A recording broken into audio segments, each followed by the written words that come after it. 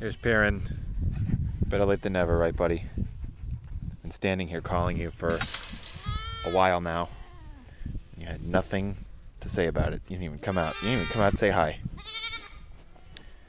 Pirin is very large. Pirin is like a big kid. Not quite as big as Teddy, but larger than Mikey.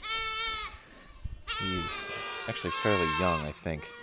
But uh, he jumps around, he goes crazy. And uh,